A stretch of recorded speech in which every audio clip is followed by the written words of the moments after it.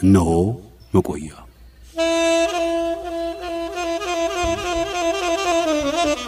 በመቆያችን እናቆያችሁ። የቤተሰብ ሀገር የፈጠሩት ንጉሥ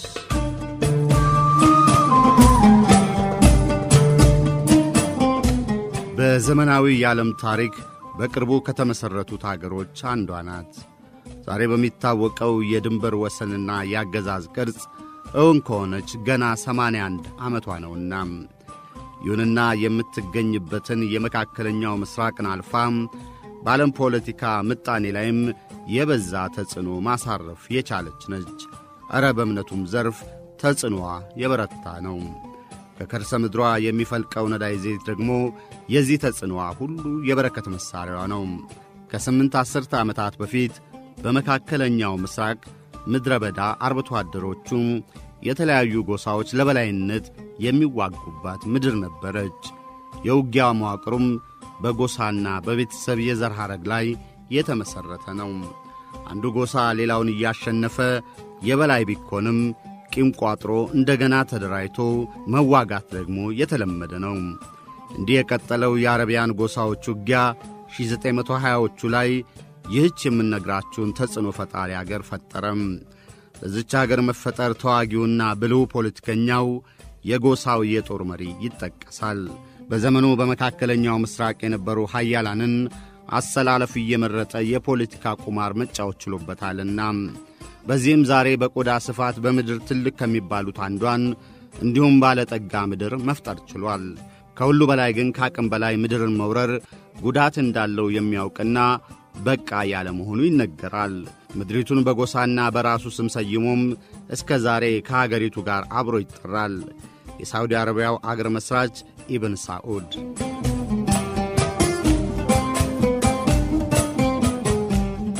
የዓለማችን ቀደምት ስልጣኔ ምድር ከሚባሉት አንዱ መካከለኛው ምሥራቅ እንደሆነ የታሪክ ድርሳናቱም ሆኑ የመንፈሳዊ መጻሕፍት ያመላክታሉ። ጥንታዊና ታላላቅ የሚባሉት የአይሁድና የክርስትና እንዲሁም የእስልምና ምንጭ ምድርስ አይደለም። ዛሬም ድረስ ለዓለም የተረፉ ስልጣኔ ምድርም ነው።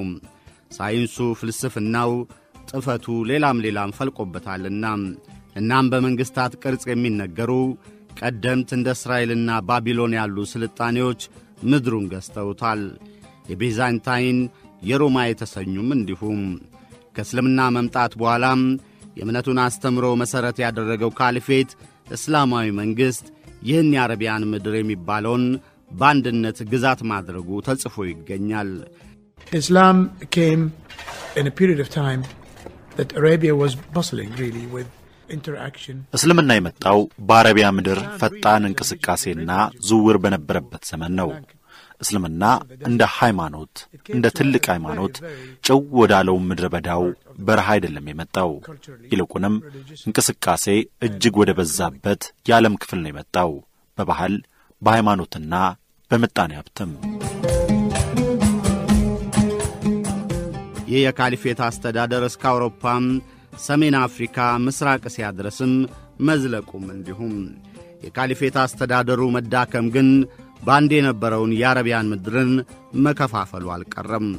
በእርግጥ የበዛው ምድር በዘመኑ በዚህ ክፍለ ዓለም ገናና የነበረው የኦቶማን ቱርክ ግዛት መሆኑ አልቀረም። የምድሩ ነዋሪ ሕዝብ ግን የሚበዛው አርብቶ አደር ነውና የመተዳደሪያ መሠረቱ የሆኑ ጎሳዎች ይገባኛል የሚሏቸውን አካባቢዎች ለመያዝ በጦር መተጋተጋቸው አልቀረም። ዛሬ የመቆያችን ነገረ ጉዳይ የሆኑት ኢብን ሳዑድ የፈጠረው ሳውዲ አረቢያ የምትገኝበት መካከለኛው አረቢያ እንዲሁም የበዙ ጎሳዎች ለግዛት ባለቤትነት የሚዋጉባት እንደነበረችም ተጽፏል። ራሺድ፣ ሳዑድ፣ ሙራ፣ ኡማያድ፣ ማራዋኒድስ እንዲሁም ሌሎች ጎሳዎች ምድሪቱን ለመጠቅለል ከምዕተ ዓመት በላይ ተዋግተዋልና በእርግጥ በሃያኛው መቶ ክፍለ ዘመን መጀመሪያ ደግሞ ኦቶማን ቱርክና እንግሊዝ ተጨምረውበት ጦርነቱ ተባብሷል። ይህም በተለይ ዛሬ መካከለኛው ምስራቅ በሚባለው ምድር ያሉ ግዛቶችንም ቅርጽ ወስኗል።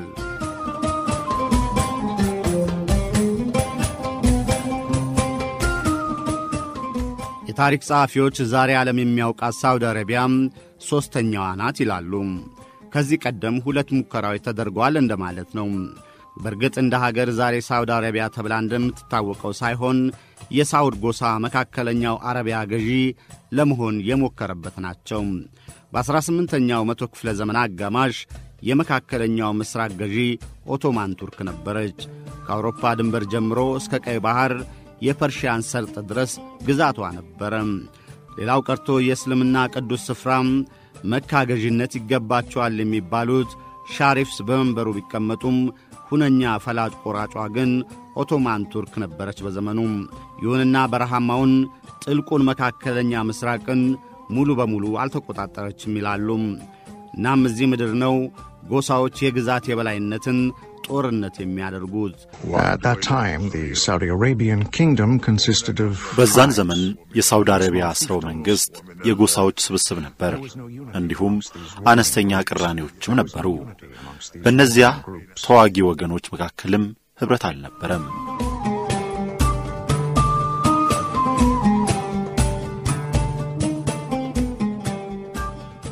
በዚህ የታሪክ ማዕቀፍ እንደ ጎርጎሮሳውያኑ የዘመን ቀመር በ1744 የሳውዲ ጎሳ ለበላይነት ተነሣ ነው የተረኩ መጀመሪያ።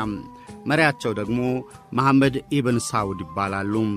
በዘመኑ በሪያድ አቅራቢያ የምትገኘው ዲሪሃ የምትባል ከተማ መሪ ነበሩ።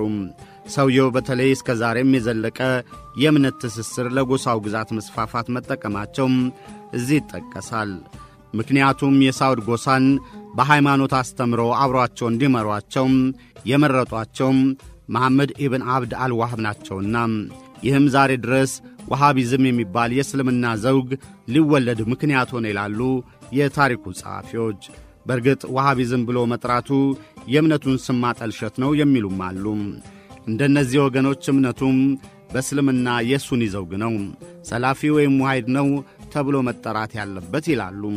በትልቁ ግን ለዚህ የእስልምና ዘውግ መመስረት ምክንያት ናቸው የሚባሉት ዋሃብ የዘመኑ የሳውድ ጎሳዎችን የምድር ባለቤትነት ዘመቻ መንፈሳዊ መሪ መሆናቸው ላይ ነው የታሪኩ ጸሐፊዎች የሚስማሙት።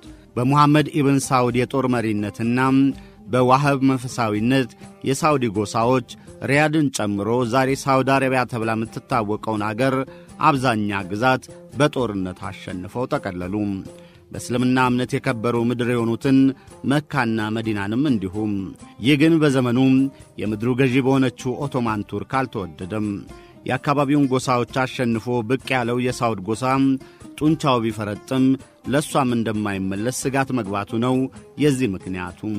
እናም የዘመኑ ንጉሥ ሙስጠፋ አራተኛ የግብፅ ግዛት አስተዳዳሪ የነበሩትን ሙሐመድ አሊ ፓሻን በሳውድ ጎሳ ላይ ይዘምቱ ዘንድ አዘዙ።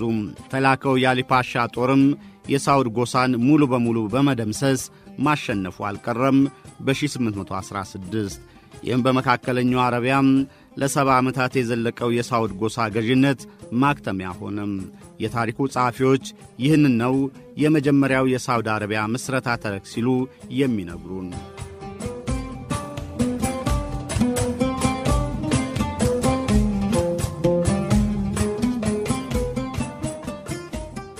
ሁለተኛው የሳውዲ አረቢያ ምስረታ ዘመቻ ከቀዳሚው ጥረት ሽንፈት ከስድስት ዓመታት በኋላ ነው የተጀመረው። የዚህ ዘመቻ መሪ ደግሞ አብደልራህማን ቢን ፋይሰል ይባላሉ። እንደ ቀዳሚው ዘመቻ ግን ብዙ የቀናቸው አልነበሩም። ናጅድ የሚባለውን የመካከለኛው አረቢያ ወይም ዛሬ ሳውዲ አረቢያ በማለት የምናውቃትን አገር መካከለኛ ግዛት ብቻ ነበርና የተቆጣጠሩት። ይህችም ግዛት በስታለች በሚል ለመንጠቅ የሚቀናቀን አዲስ ጎሳ ብቅ አለም። አልራሽድ ይባላል። የሁለቱ ጎሳዎች ጦርነት ደግሞ እስከ መጠፋፋት የሚደርስ ነው ይላሉ የታሪኩ አጥኚዎች። በ19ኛው መቶ ክፍለ ዘመን የዘለቀው የሁለቱ ጎሳዎች ጦርነትም በማብቂያው በአልራሺድ ጎሳ አሸናፊነት ተጠናቀቀ። ሌላው ቀርቶ የሳውድ ጎሳዎች መነሻቸው የነበረውን ሪያድ አካባቢ የሚገኘውን ከተማቸውን ሁሉም አጡ። እናም የሳውድ ጎሳዎች ዕጣ ፈንታ ስደት ሆነም። ለጥቂት ጊዜያት በጥልቁ በረሃ ከነበሩት የበደዊን ጎሳዎች ጋር አሳለፉ። ከዛም ወደ ኳታርና ባሕሬን ሆነ ስደቱም። በኩዌት ለአስርተ ዓመታት የዘለቀ የስደት ሕይወትን መግፋት ግድ ሆነም። በዚህ የኩዌት ስደት ዘመን ነው ታዲያ ዛሬ ሳውዲ አረቢያ የምንላትን አገር የመሠረተው ዘመቻ የሚወጣው። አባቱ ይመሩት የነበረው ሁለተኛው መንግሥት ሲፈርስ ሪያድም ስትወረር ዐሥራ አምስት ዓመት ነበር ዕድሜው። ከአንድ ዐሥርተ ዓመታት ለሚበልጥ በስደት ከሀገር አገር መንከራተት ይበቃል ብሎ ነው ወንድሙንና ጥቂት ዘመዶቹን በመያዝ ለአመፅ የተነሣው። በተዋጊነቱና በመሪነቱ ተሳክቶለት የበዙ የደፈጣ ውጊያዎች ማሸነፉም ተከታይ አበዛለት። በተለይ ደግሞ ከውጊያ ማሸነፍ በኋላም የሚደረገው ዝርፊያ ትርፋማ መሆኑ ለተከታዮቹ መብዛት በምክንያትነት ይጠቀሳል። እሱ ኢብን ሳውድ ግን ሕልሙ የታላቅ ግዛት ጠቅልነት ነው።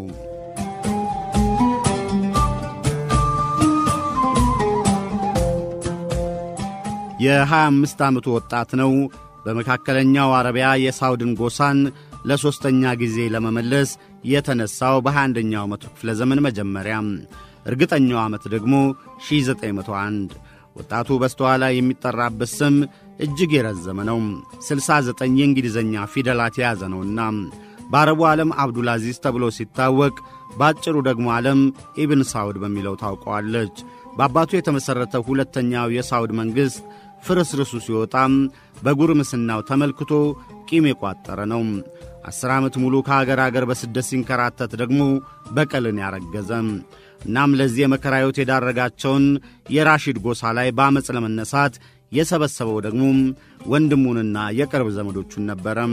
በስደት ከነበሩበት ኩዌትም ወደ መካከለኛው አረቢያ ተመልሰው በናጂድ ግዛት የአመፅ ጥቃት ጀመሩ ይላሉ የታሪኩ ጸሐፊዎች። እናም አመፀኞቹ የራሺድ ንዑስ ጎሳዎች እያደፈጡ በማጥቃት ድልም እየቀናቸው ሞገስ እያገኙ መጡ። በተለይ ከድል በኋላ የተሸናፊውን ጎሳ ሀብት መዝረፍ የተለመደ ነበረና ለአማጽያኑ ትርፍ አስገኘም። ይህም ቁጥራቸው የበዛ የሳውድ ጎሳ ሰዎች አብዱልአዚዝ የሚመራውን አማጺ ቡድን ይቀላቀሉ ዘንድ ገፊ ምክንያት መሆኑ አልቀረም። እስከ ሁለት መቶም ድረስ የሚመራቸው አማጽያን በዙለት።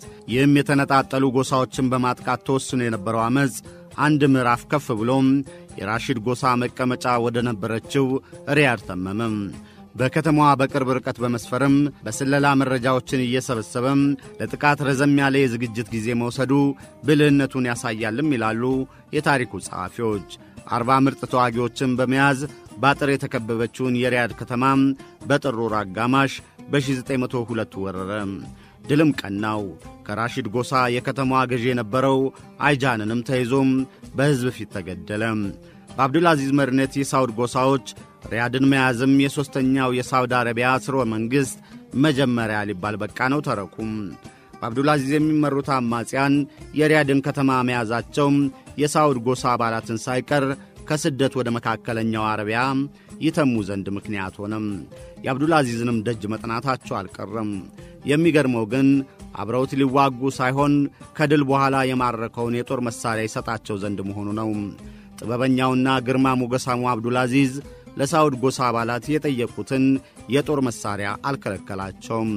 ግና ዓላማውንም ደግፈው አብረውት ይዋጉ ዘንድ አሳመናቸው እንጂ።.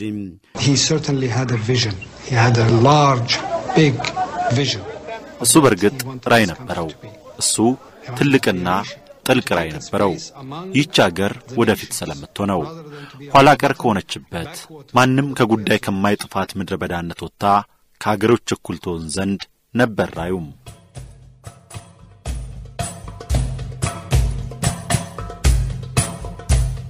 ይህም በቀጣዮቹ ሁለት ዓመታት የናጂድ ግዛት ከተቀናቃኝ ራሺድ ጎሳም ለማስለቀቅና የሳውድ ጎሳ ግዛት ማድረግ አስቻለው። ይህን ተከትሎ አብዱልአዚዝ ለዘመኑ የአካባቢው ገዢ ኦቶማን ቱርክ ዕውቅናና እርዳታ መጠየቁ አልቀረም። የሳውድ ጎሳ ሁለተኛ መንግሥትን ያፈረሰችው ኦቶማን ቱርክ ለዚህም የሰጠችው ምላሽ ጥፋ የሚል ነበረ። የተሸነፈውን የራሺድ ጎሳ አባላትን ሰብስባና አስታጥቃ ከራሷ ጦር ጋር ላከችበት። በጥቃቱም በአብዱልአዚዝ በሚመራው የሳውድ ጎሳ ላይ የበዛ ጉዳት ደረሰም። ይዘውት የነበሩትንም ግዛት አጡ።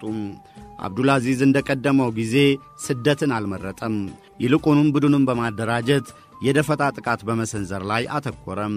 በመጀመሪያዎቹ ዓመታትም የስንቅና ትጥቅ መስመሮች ላይ ጥቃት መሰንዘር ነበር ትኩረቱ። ቀስ በቀስም በኦቶማን ቱርክ የጦር ሰፈሮች ላይና የራሺድ ጎሳ ከተሞች ላይም ጥቃት መሰንዘሩ አልቀረም። የኦቶማን ቱርክ ወታደሮች የሚሰነዘረውን ጥቃት መከላከል አቅቷቸው አካባቢውን ለቀው መውጣት ግድ ሆነባቸው። ይህም አብዱልአዚዝና የሚመራቸው አማጽያን ተቀናቃኛቸውን የራሺድ ጎሳን በግላጭ ለብቻ አገኟቸው። ከአስቸጋሪ የስምንት ዓመታት የአመፃ ውጊያ በኋላም የተነጠቁትን የናጂድ ግዛት አስመልሰው ያዙ። የምሥራቃዊ የፐርሺያ ባሕር ዳርቻዎችንም ጨመሩበት። በዚህ ጊዜ ታዲያ አብዱልአዚዝ የአማጺ መሪነት ሚናው ማብቂያ ሆነም። ይልቁንም የመንግሥት አስተዳዳሪ ወይም ንጉሥ የሚወስደውን እርምጃ ነበርና የተከተለው። እንዲያውም ለወደፊቱ የምትመሠረተውን ሀገር መሠረት የጣሉ ነበሩ እርምጃዎቹ ይባላል።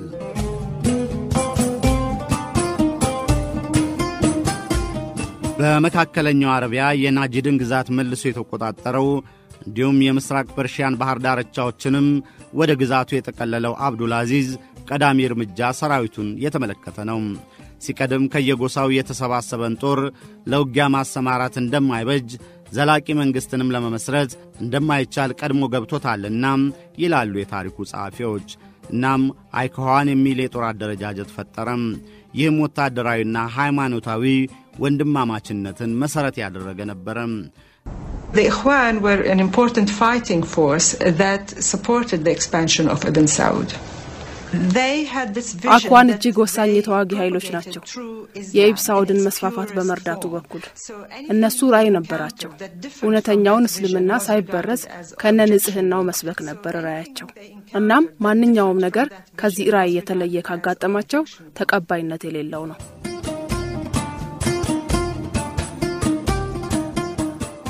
እንዲሁም የሃይማኖት ጉዳዮች ላይ የሚወስን የእምነቱን ታላላቅ አባቶች ያሉበት ሳላፊ ኡለማ የተባለን ምክር ቤት መሠረተም። ከሁሉ በላይ በመሬት ላይ የወሰደው እርምጃ ተጠቃሽ ነው ይባላል። በየበረሃው በመንቀሳቀስ ይኖሩ ለነበሩም የበደዌያን ሰዎች ቋሚ መሬት ሰጠ። ይህም ከጎሳ ይበልጥ ለቤተሰብ መስጠቱ ነው ሁነኛው ለውጥ። ምክንያቱም እያንዳንዱ ቤተሰብ እንደ ቀድሞው ለጎሳው የሚታዘዝ ሳይሆን አይክዋን በማለት ላደራጀው የጦርና የሃይማኖት ወንድማማችነት እንዲሆን ይህ ለውጥ አብቅቷልና። እናም የጎሳ አደረጃጀትና የመሪዎቹ የበላይነት ማብቂያ ሆነም። የአንደኛው የዓለም ጦርነት መምጣት ደግሞ ለአብዱልአዚዝ የበጀ ዕድል ፈጠረም። ከኦቶማን ቱርክ ጋር የምትዋጋው እንግሊዝ ዕውቅና ልትሰጠው በቅታለችና ይህም ይዞት የነበረውን ግዛት ድንበር ተከልሎ ይታወቅለትና የእንግሊዝንም የሞግዚትነት ጥበቃ አስገኘም። አብዱልአዚዝ ባጸፋው ኦቶማን ቱርክንና ለእሷ መንግሥት ያደሩትን እንዲሁም የዘወትር ተቀናቃኙን የራሺድን ጎሳ ያጠቃ ጀመረ። ይህም ከእንግሊዝ የበዛ ትርፍ አስገኘለት። እጅግ ተፈላጊውን ሸቀጥ፣ የጦር መሣሪያና በየወሩ አምስት ሺህ ፓውንድ። ይህንን እየተጠቀመም በእንግሊዝና በኦቶማን ቱርክ ስምምነት ተሰምሮ የነበረውን ድንበር እያለፈ ግዛቶችን ይጠቀልል ጀመረ። ጦርነቱ ሲያበቃ የፈረጠመ ወታደራዊ አቅም ከመካከለኛው አረቢያ ጎሳ መሪዎች የነበረው አብዱልአዚዝ ነበረና ሁሉንም በወረራ እያሸነፈ በመገስገስ ቀጠለበት። እንዲያውም ወዳጁ እንግሊዝ በህንድ ለነበራት ቅኝ ግዛት የሚያስፈልጋትን ኢራቅንና የስዊስ ካናልን እንዳይዝ በስምምነት ባታስረው እነዚህም አይቀርላቸውም ነበር ይላሉ የታሪኩ ጸሐፊዎች። በእስልምና እምነት የከበረ ምድር የሆኑትን መካና መዲናንም መጠቅለሉ አልቀረም። እናም ራሱን የናጂድና የሄጃዝ ግዛቶች ንጉሥ ሲል አወጀም። እንግሊዝም በስምምነት አጸደቀችለት። ይሁንና በዚህ ዘመን በመንግሥቱ ውስጥ ቅራኔ መፈጠሩ አልቀረም። ሲቀድም አይከዋን ሲል ያደራጀው ወታደራዊና ሃይማኖታዊ ጦር መሪዎች በወረራችን እንቀጥል ማለታቸው ነው የቅራኔው መነሻ።. እነሱ ታላቅ ግዛት የመፍጠር ፍላጎት ነበራቸው። ሁሉንም የእስልምና ሀገሮች የመጠቅለል ሐሳብ ነበራቸው። ፈጣሪ ብቻ ነው የት እንደሚያቆሙ የሚያውቀው። ምናልባት ፈረንሳይ ይሆናል እዚሁ ዕድሉን ቢያገኙ።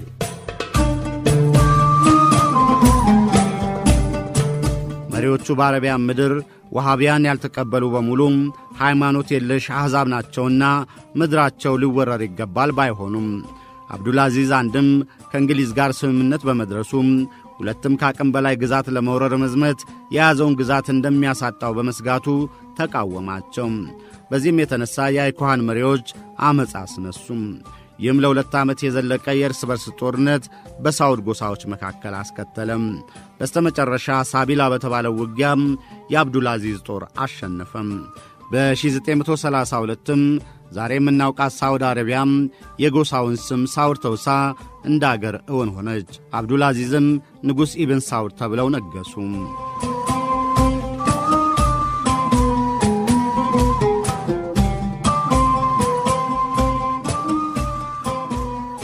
እስካሁን አብዱል አዚዝ በሚል የምናውቀው በመካከለኛው አረቢያ የሳውድ ጎሳ መሪ ሰሜንና ደቡብ አረቢያን ጨምሮ ሀገር መሠረተ። በጎሳው ስምም ሳውድ አረቢያ አላት። ኢብን ሳውድ በሚል የንግሥና ስም ዘውድ በመድፋት በ58 ዓመታቸው የአዲሲቷ ሀገር ገዢ ሆኑ። ይህ ግን ቀላል አልነበረም። ሲጀመር የጎሳዊ የበላይነትን የሥልጣን ተዋረድ መስበር ነበረባቸው። ምክንያቱም በዚህ የጎሳዊ የሥልጣን ተዋረድ አባት አሊያም ታላቅ ወንድም መንበሩ ይገባቸዋልና። ኢብን ሳውድ ግን አባትም በተለይም አብረው የተዋጉትን ታላቅ ወንድማቸውን ከሥልጣን መንበሩ ገፍተው መንገሳቸው ነው ቀላል የማይባለው ፈተና። እንዲህ የአንድ አዛውንት ዕድሜ የፈጀው አዲስ አገር ግንባታ ግን ምድረ በዳ የበዛበት የቀደሙት የአረብ አርብቶ አደሮች ይኖሩበት ከነበረው መንግሥት የተለየ አልነበረም። ንጉሥ ፋውድ ከነገሱ ከስድስት ዓመታት በኋላ ግን ለሕዝቡ ያስፈልጋል ያሉትን የንጹሕ መጠጧ ፍለጋም ጥልቅ ጉድጓድ ሲያስቆፍሩ የሀገሪቱን ብቻ ሳይሆን የዓለምን ፖለቲካዊ ምጣኔ ሀብት የሚቀይር ሁነት ተከሰተ። ከምድሪቱ ከርሰ ምድር የነዳጅ ዘይት በውሃ ምትክ መገኘቱ ነው ልዩ ሁነት። በእርግጥ በዘመኑ የሳውዲ መሪዎችና ሰዎች ፈጣሪ እንደረገማቸው ነበር የተናገሩት ውሃ ነስቶ የነዳጅ ዘይት ስለሰጣቸው። ዛሬ ዛሬ ግን ከበረከትነት አልፎም በዓለም ተጽዕኖ ለመፍጠር አብቅቷቸዋል።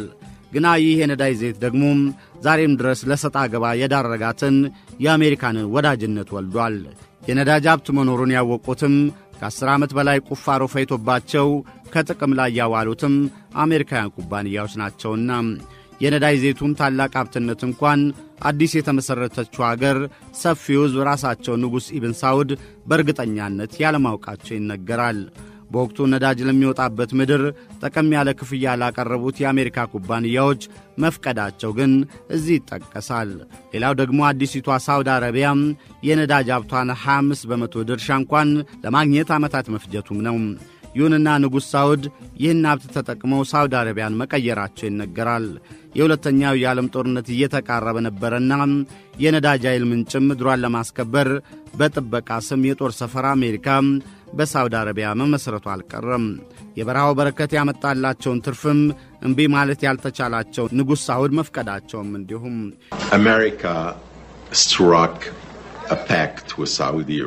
አሜሪካ ከሳውዲ አረቢያ ጋር ስምምነት ላይ ደረሰች። እናንተ ነዳጅ ዘይት በርካሽ ዋጋ ትሰጡናላችሁ፣ እኛ ደግሞ ጥበቃ እናደርግላችኋለን የሚል ነው ስምምነቱ። ይህ ጥበቃ ደግሞ የአሜሪካ በገልፍ አጠቃላይ ምድር ወደ መስፋፋት አደገ።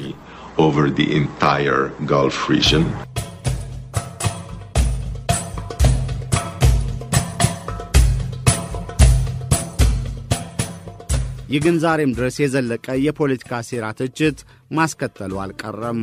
ሳውዲዎች እስከ ዛሬም ድረስ እኛ ነዳጅ ሰጠናቸው፣ እነሱ ደግሞ ሀብቱን ለመከላከል ሲሉም እኛን ይጠብቃሉ ሲሉ ይደመጣሉ። ሌሎች ደግሞ ግንኙነቱ የጌታና የሎሌ ነው ይላሉ።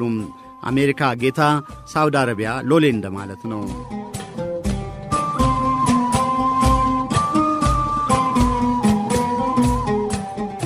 ንጉሥ ሳውድ የመሠረቱት አገር ሳውዲ አረቢያ በንግሥነት መርተው በሰባ ዓመታቸው አረፉም። በእርግጥ ከአሜሪካ ጋር የመሠረቱት የንግድና የፖለቲካ ግንኙነት ከዘመናቸው አልፎ ዛሬም ድረስ አገራቸውን በዓለም የፖለቲካ መድረክ ያስተቻል። ፍጹም አምባገነን የንጉሣዊ አገዛዝ ዘመናዊ በሚባለው የአሁኑ ዓለም እንኳን በአሜሪካ ጠባቂነት ዘልቋል እየተባለ ነውና በእርግጥ ንጉሥ ሳውድ በዘመናቸው ጭምር ከአሜሪካ ጋር መቃቃራቸው አልቀረም። በዚህ ረገድ በተለይ የእስራኤል በመካከለኛው ምስራቅ እንደ አገር መፈጠር እዚህ ይጠቀሳል። ምክንያቱም ንጉሥ ሳውድ ራሳቸው ከአሜሪካ በተቃራኒ በእስራኤል ላይ ዘምተዋልና በእርግጥ እስራኤል ባትሸነፍም እሳቸውም ካለፉ በኋላም የሳውዲ ነገሥታት የሚያስተዳድሯት አገር ሰዎች ከአሜሪካ በተቃራኒ መቆማቸው ይነገራል። ለዚህ የሚጠቀሰው የሳውዲ አረቢያ ነገሥታት ቤተሰብና የሀገሪቱ የግንባታ ዘርፍ ቤተሰብ ከሚባለው የፈለቀው እንዲሁም የአልቃይዳው መሪ ኦሳማ ቢንላደን ነው። ዛሬም ድረስ የሳውዲ አረቢያ የንጉሣውያን ቤተሰቦች በመላው ዓለም በምዕራባውያን ዘንድ አክራሪ እስላማዊ ታጣቂዎች የሚባሉትን በመርዳት በጥርጣሬም በይፋም ስማቸው ይነሳል። የዚህ ምንጩ ደግሞ በንጉሥ ሳውድ ዘመን የሆነ ነው። ንጉሥ ሳውድ በዘመኑ አስቸጋሪ የነበረውን የጎሳ ፖለቲካ ለመፍታት ከየንዑስ ጎሳዎች 22 ሚስቶችን አግብተዋል። ከእነዚህም 48 ወንድ ልጆችን ወልደው 36ቱ ለአቅመ አዳም ደርሰዋል። የሴቶቹ ልጆቻቸው ታሪክ በመዝገባቸው የለም። እንዲህ የወንድ ዘር በበዛበት የንጉሣውያን ቤተሰብ ዘንድ እኔ እነግስ እኔ እነግስ የሚል ሽኩቻ ከንጉሥ ሳውድ ሞት በኋላ መነሳቱ አልቀረም። በእርግጥ በመንበራቸው ይነግሱ ዘንድ የልጆች መብት ቢሆንም የሚገባው ልጅ ከሀያ ሁለት ሚስቶች ከተወለዱት ሰላሳ ስድስቱ የትኛው ነው የሚለው ነው ተጠየቁ። ይህም ንጉሥ ሳውድ ከሞቱ በኋላ ታይቷል። ልጃቸው ፋይሰል ቢነግስም በውስጥ ሽኩቻው የተነሣ በሰው እጅ ተገድለዋልና በእሳቸው እግር ተተክተው ንጉሥ ካሊድ ከዛም በኋላ ንጉሥ ፏድ በመቀጠልም ሰሞኑን የሞቱት አብዱላህ በመንበሩ ነበሩ። አሁን ደግሞ ሌላው ልጅ ሳልማን ነግሷል። የበዙ የታሪክ ተንታኞች ሳውዲ አረቢያ የቤተሰብ አገር ብትሆንም ከንጉሥ ፋውድ ዘመን ጀምሮ እስከ ዛሬ የዘለቀው ከብዙ ሚስቶች የተወለዱ ልጆች የዙፋኑ ይገባኛል ጥያቄ ዛሬም ለሀገሪቱ አደጋ መሆኑን ይናገራሉ። ትናንትና አዲሱ ንጉሥ ያደረጉ ከፍተኛ የካቢኔ ሹምሽር የዚሁ የቤተሰብ ከጀርባ ያለ የሥልጣን ሽኩቻ መገለጫ ነው የሚባለው ለዚህ ነው። ቸር ያሰንብተን።